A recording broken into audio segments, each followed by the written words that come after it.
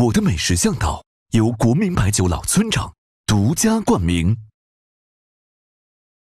本节目由上汽高阶智能纯电品牌非凡汽车播出。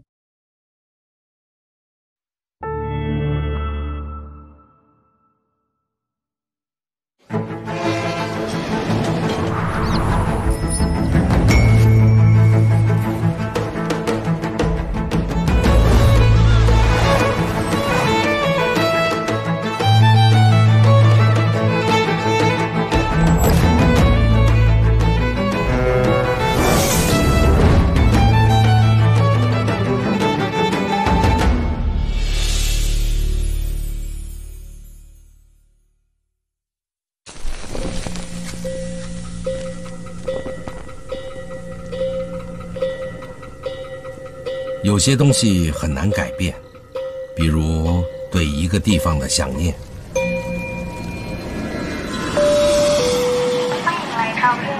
是的，我又来了。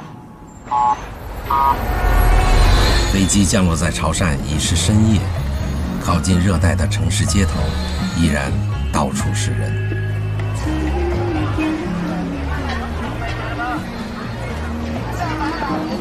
要不要吃？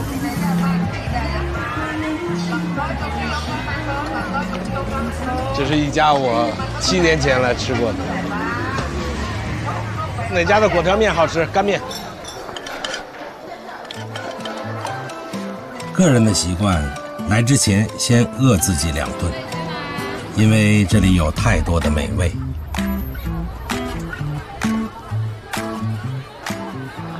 小朋友可以吃生腌啊？我小朋友不能吃啊。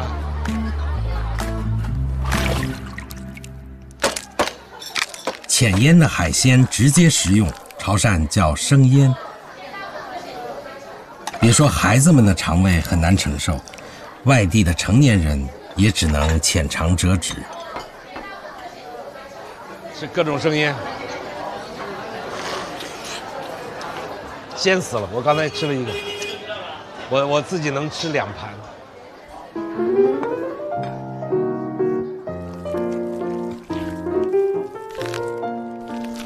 这种让大家保持警觉的食物，却每次让我欲罢不能。好在潮汕有太多的海产供人们选择，而且都十分新鲜。作为一个内陆的居民，到这儿就会觉得智商有点不够。阿星，你们叫这个叫什么？泥酱。叫什么？泥酱。泥酱。导演尔清是潮汕人，据他说，这种发音拗口的食物其实有更新鲜的吃法。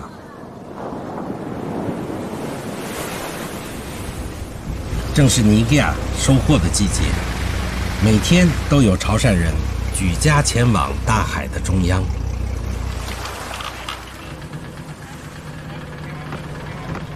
老板，二个尼亚。哦，你看我来，啊，发个包啊，这还在叫我哎，好来来来，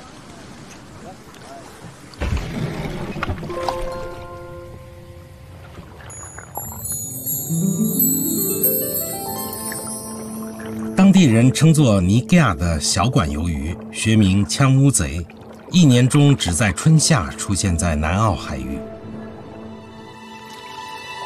遍布全身的色素细胞。会随外界环境改变颜色。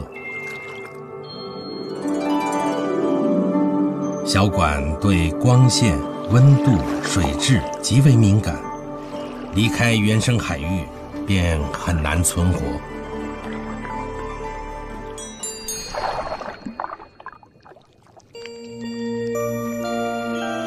表面斑点闪烁的频率和范围，是判断小管鲜活度。最直接的标准。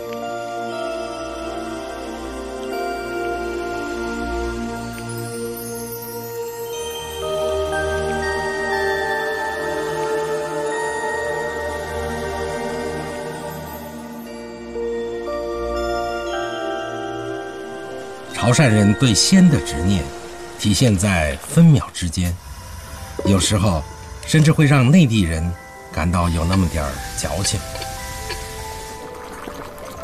小管的表皮富含蛋白酶，离水后蛋白质会被水解，从而使口感发生变化。抢在时间的前面享用那份鲜甜，不仅仅是心理暗示，从生物学的角度也解释得通。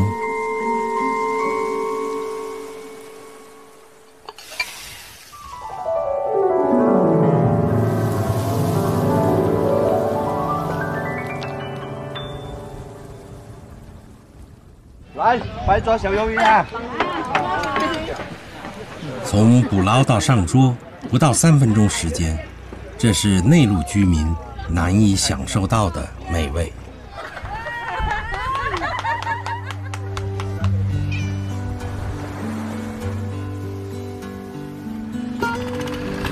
现代物流和保鲜技术改变着我们的生活，但总有一些东西保持着传统法则，这恰好是美食复杂和独特的地方。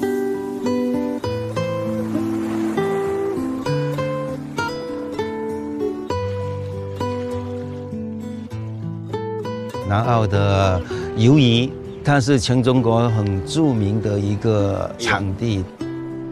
那边是南澳，南澳岛，啊，就那边就是海了，海了，那边就海啊，外海。是要下雨啊？那个那个云彩怎么？对呀、对呀、嗯哎，今天这个天气有一点怪怪的哈、嗯，白云就是好像戴了一个帽子一样，非常奇怪的。这个得多少钱一平米啊？这样子，要不要买房子啊？我 买不起。记者出身的张新民一直是我们团队的美食顾问。这位说普通话烫嘴的老师，也是我十多年的朋友。潮汕人对海鲜自己有一套时间系统，最新鲜的鲜和放了很久的鲜，呃，有某种异曲同工的这种奇妙的感觉。新香，呃，香滑的、生猛的，这个是一种吃法。嗯呃，接下来其实更多的，因为丰收了，我们要把它晒干，就是香干。嗯呃，那就是海味干货。嗯海味干货有个好处就是，盛放之后它会产生一种黄金之味。时间的朋友那哎、时间的朋友，就是你吃不完了，只能是腌。张老师说的黄金之味，是指干制的鱿鱼，晾晒过程中产生多种风味化合物，烹饪后馥郁的鲜味、汁香和焦香成倍增加。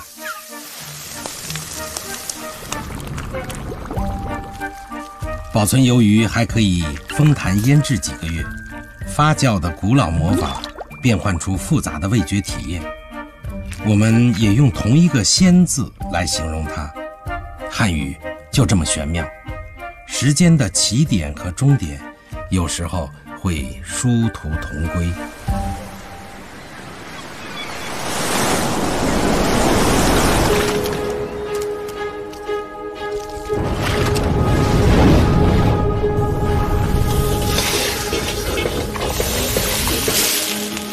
潮汕拥有五百公里海岸线，四季不同的出产，让我们了解到潮汕风味最鲜明的一面。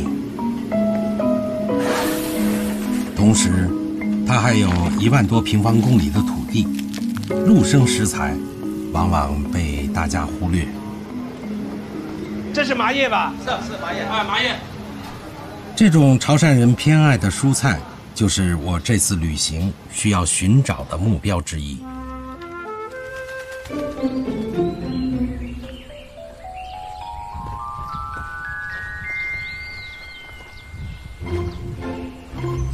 这是甜木瓜，这是姜薯，芦笋，很甜。这才叫真正的美食之旅，知道吗？如果这个田里面是打农药的，我现在已经嗝儿了。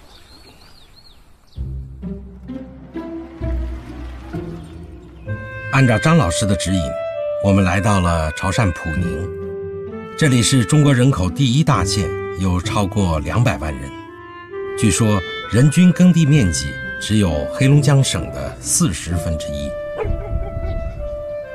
一眼望去，真的看不到一块完整的农田。这么小的一块地方，种的红薯、秋葵、花生、番石榴。哦，这是参薯，它完全是立体的，你看见没有？地底下有，天上有，真是寸土寸金，太神奇了。潮汕四季温暖，当地人想尽办法利用光热资源，把豆腐块一样的土地变成立体的菜园。果然，这里有我想要找的东西。这个就是麻，我老家叫请，这个植物很神奇，很神奇。这个曾经是。中国人五谷之一，最早我们的先民吃它的种子，后来用它的茎秆做绳子，现在潮汕人还吃它的叶子。马长着锯齿分明的叶片，只有叶梢五到六片的嫩叶适合食用。这种植物生命力旺盛。每次采摘后不到十天就会长出新芽，可以反复采摘。这个口感黏黏的，特别像木耳菜。啊，真的太有意思了。嗯。或许潮汕人认为生吃有些野蛮，他们有自己的方法。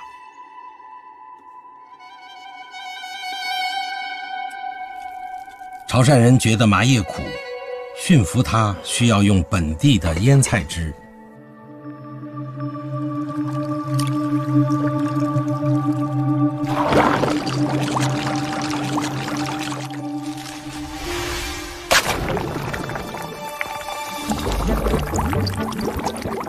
高温和渗透压作用下，麻叶中不友好的粘液和苦味物质不断析出。潮汕话称这个过程叫“咸揪”。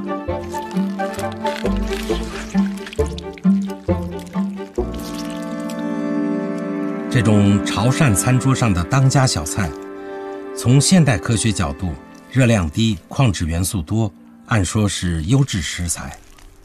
但几乎可以肯定的是，当初人们选择它，与食物资源紧缺有关。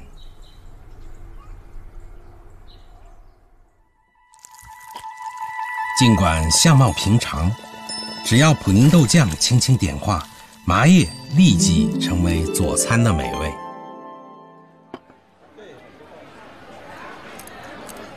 普宁乡村保留着宗亲社会的样貌，经常性的宴席上也少不了麻叶。今天孩子们在宗祠聚餐，饭后他们还要一起参加训练。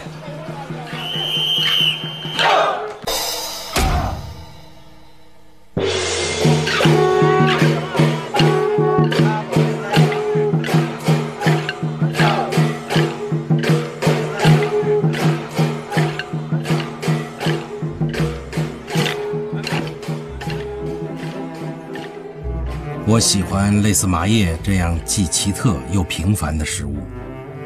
在乡下，我看到了莺歌舞，看到了人们种田如绣花。这是飞速改变的社会里相对静止的传统生活。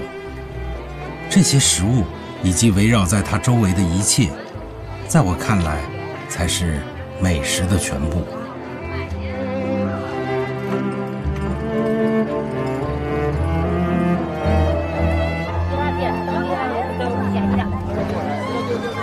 这是潮汕的 espresso，眼睛一睁开就是喝功夫茶。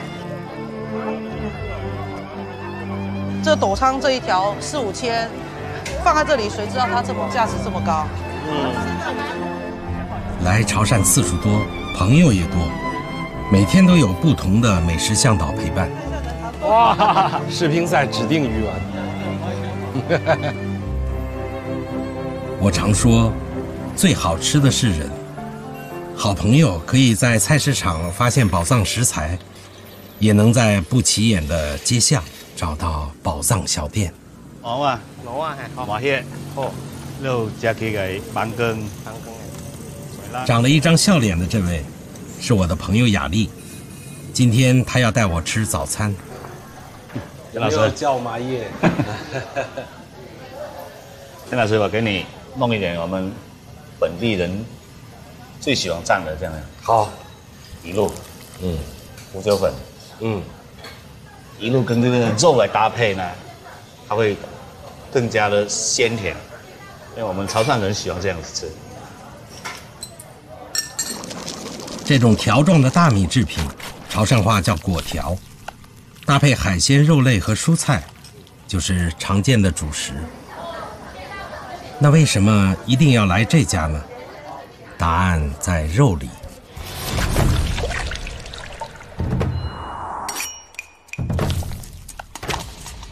一块新鲜梅花肉，根据味道、口感、香气的细微差别，切分为完全不同的九种，而且每一种都拥有自己的姓名。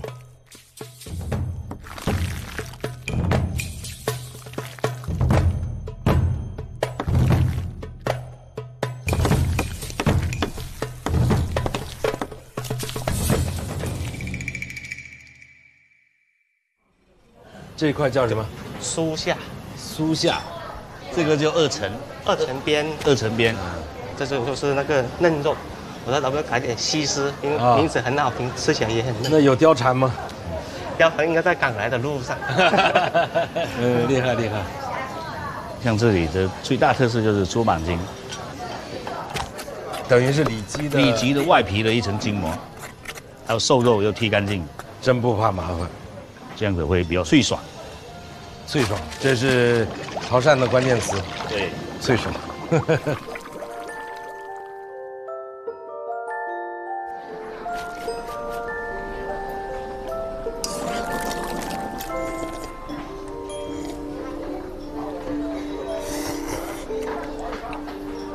从烹饪的技巧上面，他们掌握还是比较讲究的。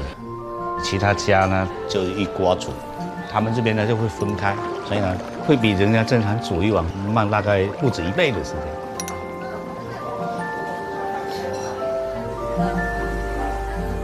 这个等待的这个感觉很美好，估计会拍到我的喉结在动。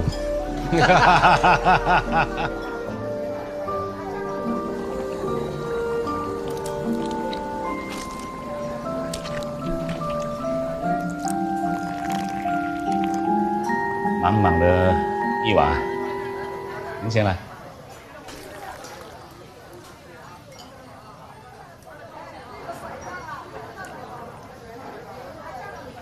你吃的这块是脆的，他这么说，这个板筋还真有点像那个花椒，花椒，有味道的花椒。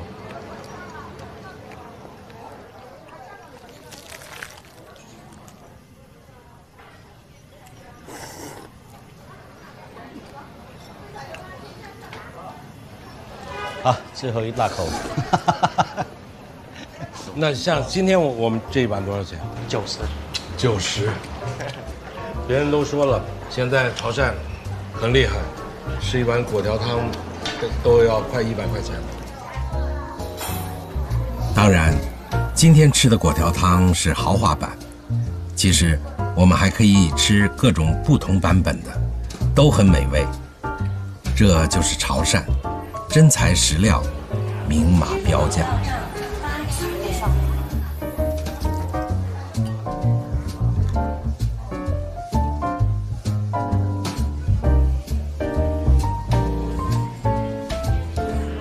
他叫土豪，但是叫他土豪他不理你。豪哥，豪哥，没见过摄影机。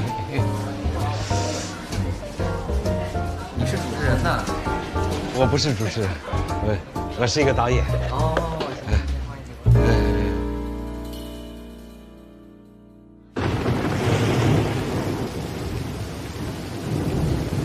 和以前来汕头不一样这一次摄影机形影不离连下雨天都不例外我还需要适应。今天我要去见一位朋友。据说他在镜头前表现得十分自然。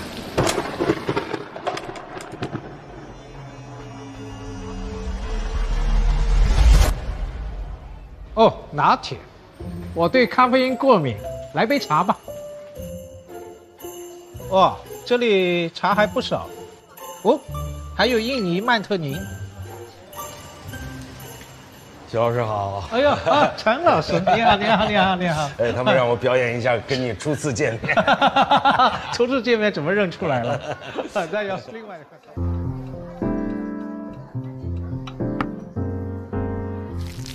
这个是一个小甜点。哎呀，我先要按照我的习惯，先拍张照。嗯，我也拍一张。然后可以种一下草，在网上。嗯嗯，尝尝看。很好。哎呀，我好羡慕啊！我对咖啡因过敏，我不能碰咖啡水，一点都不能碰，一碰就头头疼啊，兴奋莫名，脑子像炸裂一样。其实我早上起来已经喝了一杯咖啡。是吗？这是这两年汕头特别时兴的油甘汁。啊，这是糖葱薄饼，咖啡倒在这里面，这个好有意思啊。嗯。创新式的喝法。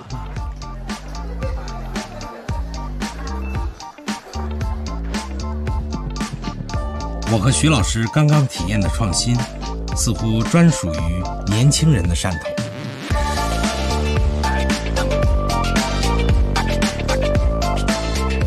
不过，只要稍稍留意，就会发现，这座城市依稀可辨的传统符号里。从来就混杂着全球的印记。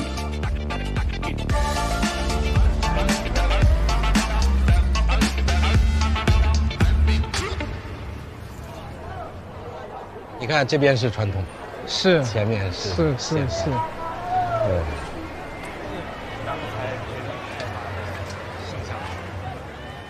我们到他的这个城市最中心。看看这个放射状的，放射状的城市规划啊，完全是南洋风格啊，是吧？你说是澳门？对，香港。你说吉隆坡的华那个华人街，汕头别的，说老实话，我可能介绍不怎么权威。说吃的，呃呃，找我肯定是对。对对对。你看这个叫珍珠草，还有益母草。哦。这个薄壳你也要了解一下，就是它里边有一点点特别甜的小肉，香香的。我我我说了，喉结又开始动，受不了，受不了。这就是著名的老妈公粽球，吃一口尝一下。哇，层次感很丰富啊，很杂糅。徐老师是第几次来汕头？第五次吧。啊，汕头大学大概是十多年前吧，每年请我来上门课。啊，这门课就《中国文化概论》。我对汕头的了解还是有限。这个你看，对，这种沧桑感特别强。我上次来的记忆当中就是这样的，你知道吗？所以就会觉得，哎呀，汕头老区就是这样的，那像这样的，嗯，这个花窗还是原来的滋味儿。你还是更喜欢这种老的？像我们研究历史的就喜欢原生态的呗。所以，想让您来吃，就是能吃一段有滋有味的历史。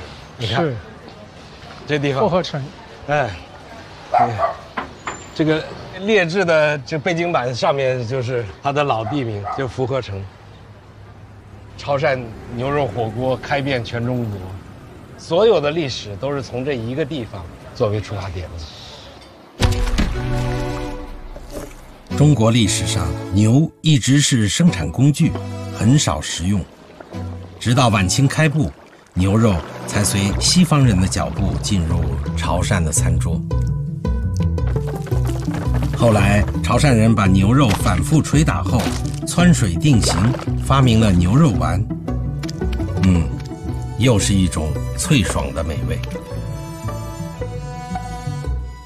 吃牛肉这件事情，还有一个东西特别有意思，就是在南洋的潮汕人把牛肉做成了新的味道，就是他们用南洋的沙茶酱在汕头和英国人吃的牛肉在一起相配。潮汕牛肉火锅的最初的蘸料就只有沙茶酱。沙茶酱。从南洋传来的风味，除了沙茶，还有咖喱。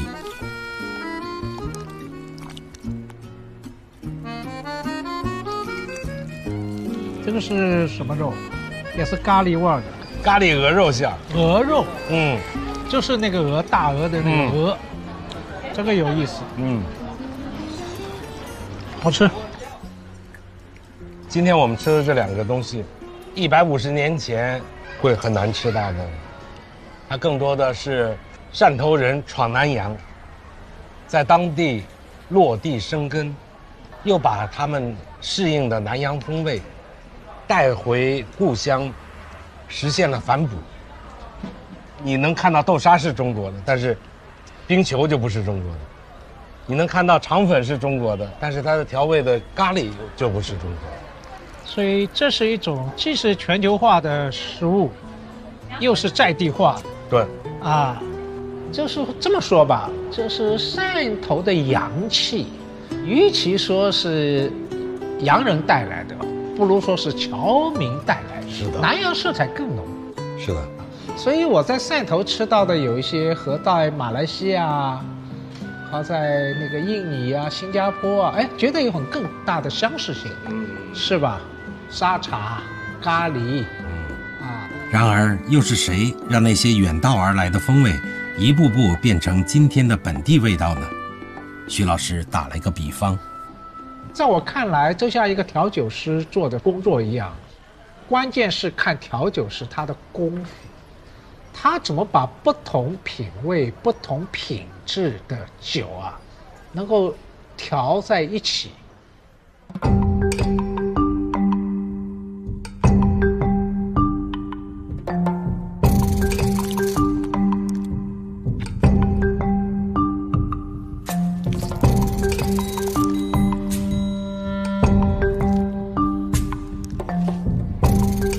说到调味的功夫，潮汕厨师都是高手。潮汕对配料是特别特别讲究，把潮汕菜做好，你一定要对所有的配料你要去理解它。倒拉梅会胖高身，就是那个猪油本来是厚的，拿去热它就会香。下那个鱼露啊，用热油还有热锅去爆出来，它就能激发出那种鲜香味道。在我看来。潮菜正是依靠本土并不断接纳，才形成今天一整套调味系统。这种融合和探索，今天仍然没有停止。用花生酱炒鹅肠，番茄海蟹配果条，新鲜黄花菜搭鹅血。如果不是亲自体验，很难想象这些味道如何组合到一起。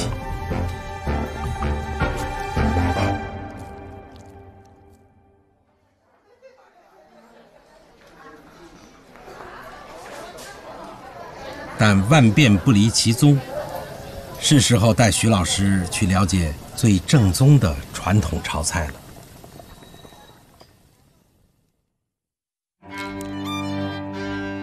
钟书钟成全，我的老朋友。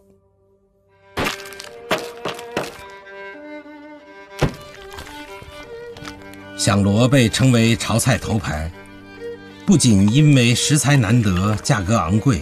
也因为蛋白质丰富，肉质鲜甜。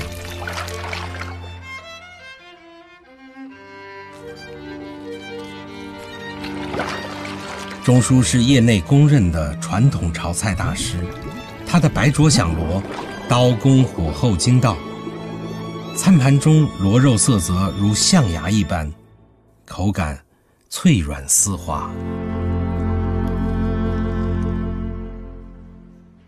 别人都会叫他响螺叔啊，做响螺的天花板就是这个意思。螺王，哦，叫螺王，因为我做响螺做的比较多。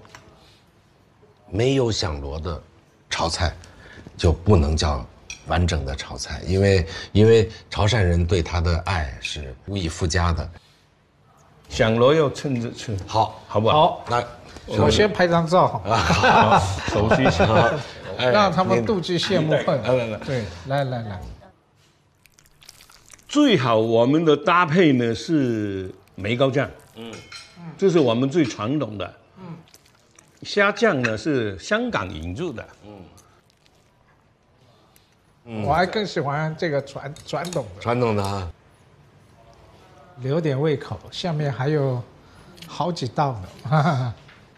我我一个人就能吃刚才这么多，那你吃啊？呃不不不，我现在 在在镜头面前要表现的特别克制。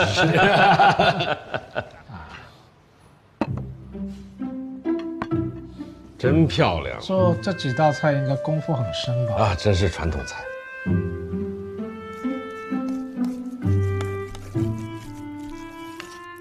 很多海外的归侨，他回来他会说。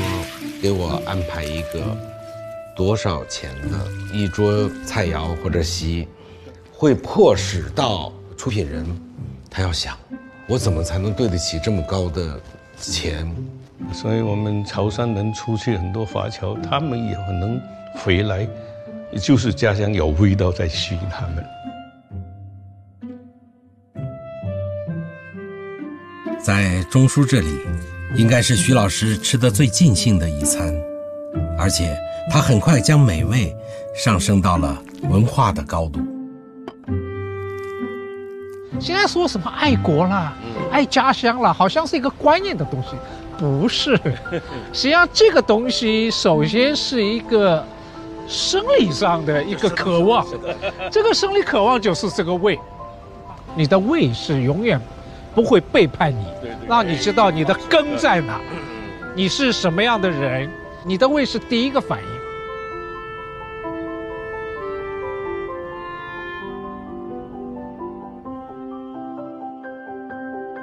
离开潮汕前，我还有一个地方要去，那是个废弃了近百年的古港。我和本地向导约好，去菜市场吃点东西。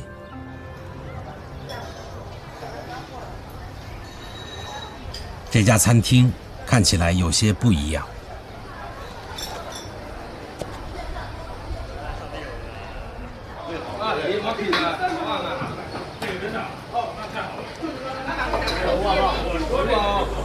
食客吃饭的姿势让我感到好奇，但更吸引我的是锅里热气腾腾的猪脚。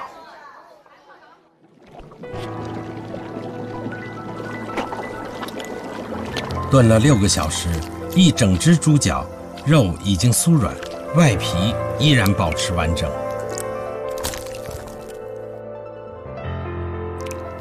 手起刀落，每一块猪脚都滋滋冒着热气，连皮带肉的裹着汤汁，无论色泽、质地、气味，都写满了直白的诱惑。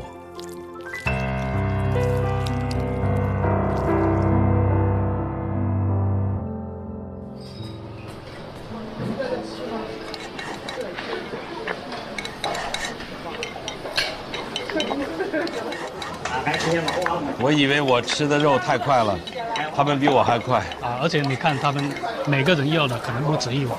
老板，下肉，无限续杯的感觉，嗯，就很爽，很豪气在这这样吃。我已经有些迫不及待，但向导私心告诉我，其实还有一种更传统的吃法，如果时间允许，它值得你稍作等待。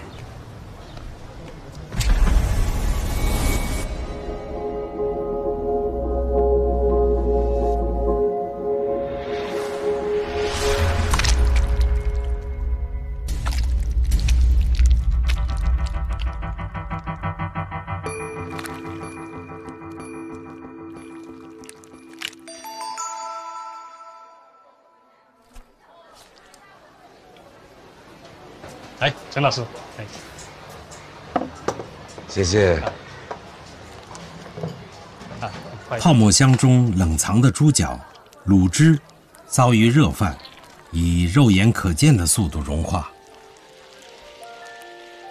这个冷热交替的那个刹那，你在等待的时候，天然的那个食欲在拼命的往上攀升，嗯，嗯。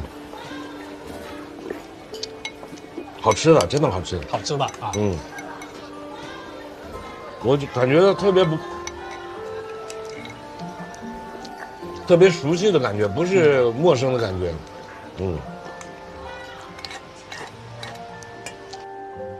卤制好的猪脚滤出猪油，慢慢凝结成冻。猪脚的蛋白质分子交联，在低温下形成更加紧密的网状结构，口感。比热吃更劲道 Q 弹。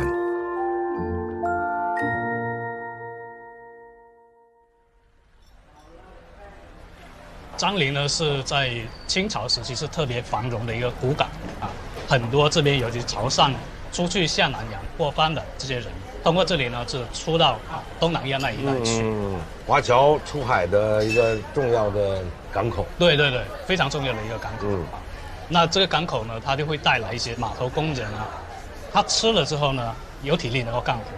嗯，而且呢，就是在比较好吃的情况下，实现这个能量的补充。是是是。根据张新民老师的研究，一百多年间，从张陵古港出海的潮汕人超过一百万。昔日的港口不在了，但当年的食物却保留了下来。同样流传至今，还有一种叫米浆好饮的，它是猪脚饭的灵魂搭配。陈老师，你会看到上面飘的这个黑色的这个东西，这个东西才是这一碗好饮的一个精华所在，叫米浆捞。这个东西它的原材料呢，用的是豆腐渣，它要不断的翻炒，这过程也要两三个小时。一个猪脚饭，一碗好饮，同时上，同时上来，的。它的营养搭配是非常均衡的，是。风味也是有海洋的，有陆地的，有谷物的，对。很鲜，很鲜啊。嗯。我要淋点鱼露在上面试试。嗯，那肯定先上更鲜啊。我读过一本书。叫食物语言学，他文章里说鱼露，闽南语发音类似于茄汁，茄番茄汁的那个茄汁。啊，大概十七世纪的时候，闽南潮汕人闯南洋，嗯，把这东东西带到了当地，但是由于它的造价比较高，所以很多英国人就，呃，偷换里面的这个原材料，呃，原材料，嗯，这个就是。到了美国之后，大概是十九世纪末，往里面加了大量的白醋和白糖，就成了今天的番茄酱。哦，所以我不知道用这个蚝蘸这个番茄酱会是什么味。您可以试一试。我来试一下啊！见证奇迹的时候到了。我也来学学郑老师。那还是雨露更好一点。尽管他们都叫开炸，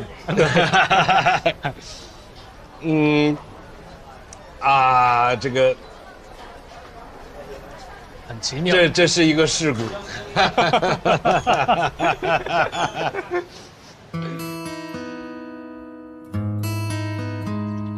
一顿猪脚快餐，我和思欣吃了一个多小时。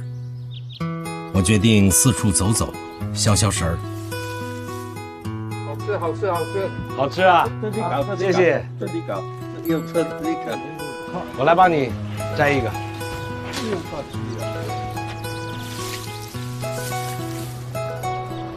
给你一个。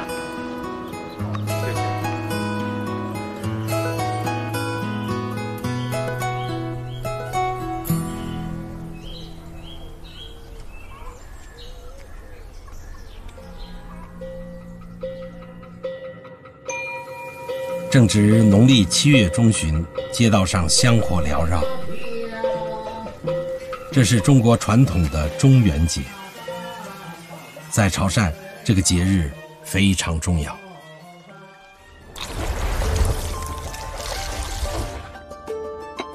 中国人祭祀，食物不能缺席。潮汕人的供桌上，最常见的是一种红糖做的糯米制品——甜果。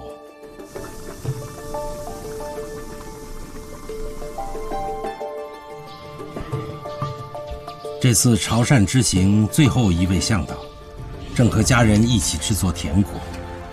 一百多年前，他的祖先正是带着甜果远渡南洋。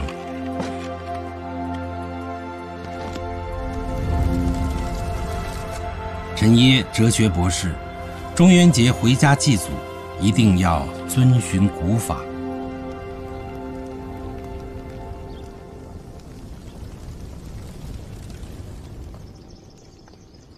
师们喝茶吧。好，好，好。徐老师这边，哎，好，然后小青老师这边，嗯。嗯，喝茶。啊，假呆，假呆，假呆，这是 T，啊，T 啊，是这个意思。嗯，我还第一次喝炭炉是吧？这边很普遍的煮的功夫茶，对啊，现在都是新式的电炉，是是都是电炉，都是电炉了嘛啊，对。可能对中原的人来说，清明好像更更重要一点。但是中原对潮汕人来说，中原是好像比清明有时候更重要。更重要，江浙是没有中元节的，没有的。哦，所以我第一次对中元节的了解是什么时候呢？是二零零零年，我去新加坡。嗯，我到新加坡的这天就是中元节啊，就是七月半嘛。对。我才知道哈，这什么节？啊 然后他们告诉我说，哈，这个就是那当时我说潮汕人和闽南人带过去的。是是是。那么很多去了以后，嗯，就客死他乡，嗯，回不来了。那你要祭祀的时候，他有这样一个中元节。徐老师研究的是历史和文化，而我对中元节相关的食物显然更感兴趣。老公老妈老祖公老祖妈，让家己整啊年轻啊，整三年啊，记得叻过。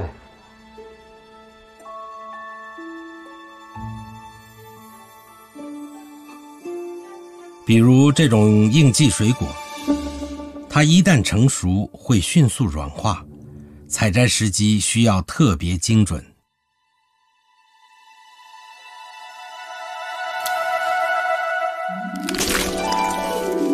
甜度极高，香气沁人心脾，有奶昔般的流沙口感，但最佳赏味期只有短短的二十四小时。这个就是家乡特产了，叫林芹。林芹，林芹，第一次见到。每年的大概是七月半，我们中元节都是七月半，对，七月半到八月半这一个月的时间就是林芹的上市的季节，它其实很短。然后就会摘下来拜拜祖先。那我们就吃一下这个林芹。吃一下，对。嗯，好吃。嗯嗯，它的果糖非常丰富，很丰富。嗯，很甜。这个是南美的水果。十八世纪中叶从泰国传到闽，传回潮汕，就是由华侨带回来。华侨带回来。嗯。我在马来亚的一个姑婆家门口也种了一棵，但说她吃不到小时候在我们樟林吃的味道，因为长得不大，果子不大，有的还有点偏红。不同的风土。对，嗯，对。所以这个水果有点非常在地化，就说它离不开它的乡土。林芹学名番荔枝，热带地区都有生长。当年。华侨从南洋带回果苗，潮汕的风土让它最终出落成独有的本地特产。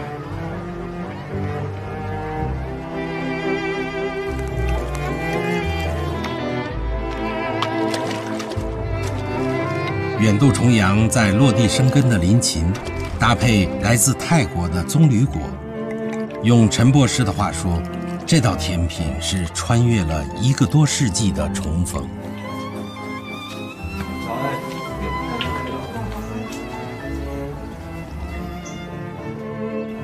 啊，也讲高音啊，写下起来年轻。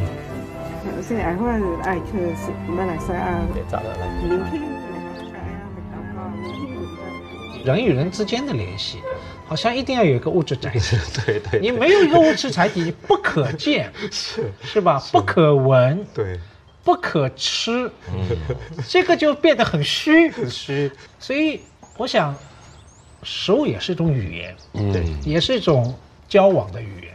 对对对，这是从前大家在一个家族里面，从前在童年的时候大家共享的那段生活、那段记忆呈现出来。对对对。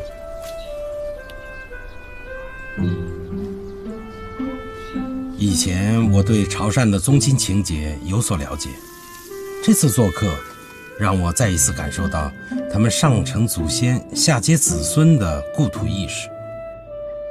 就像陈耶，虽然早已定居广州，但每逢重要节庆都会举家归来，好像只有这里才是他们的原乡。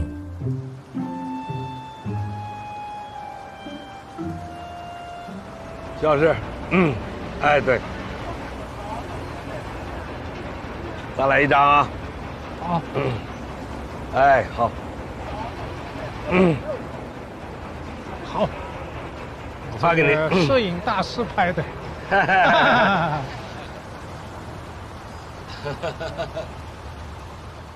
在潮汕人的眼里，食物也是凝聚的时，就是凝固的时间。是，嗯我也感觉到，实际上，潮汕人是很有时间感的。嗯啊，无论从食物，对自己的理解，他有一个很绵延的一个时间观。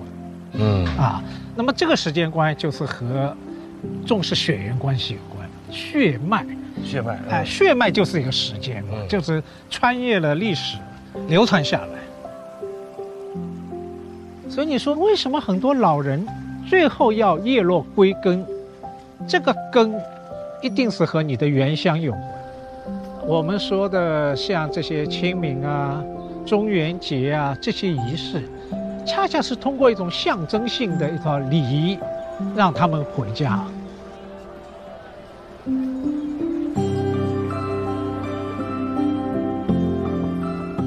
过去我曾用“美食孤岛”来形容潮汕，并在这里拍摄了二十集美食纪录片。潮汕文化别的我不敢说，但是作为饮食文化来讲，可以当之无愧的用“海纳百川”这样来形容。这次旅行对潮汕风味，我又有了新的理解。它就像一只贴满了标签的行李箱，那些花花绿绿的标签是潮汕人不停行走的脚步，而那只行李箱本身，则是他们对故土的认同。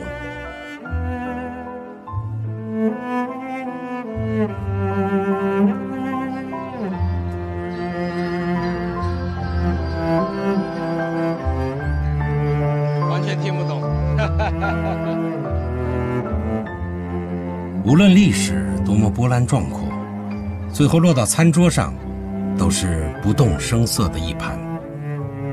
更何况当下，正是寒江竹笋最好的季节。这个最好吃。我我我我我我甚至一个人能吃这一一一包。嗯，哎，太好吃了。你们还不馋吗？还在拍啊？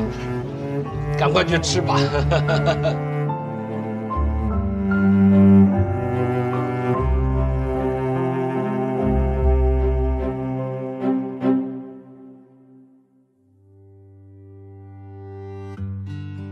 从食物中一点一点品味中国。潮汕地区是我几乎是拍美食纪录片之后去过最多的地方，每一次去都有新的发现。潮汕人他很松弛，他不着急，他们可以慢慢来。我觉得这种不着急，它是来自于宏观的，在时间长河里的一种积淀，一种酝酿。很多人他可能在别的地方闯世界，他回到老家去，回到那个错，就是大家都住在一起的那个地方，他能重新燃起生活的希望。我觉得这就是土地、故乡、宗亲给他们的力量。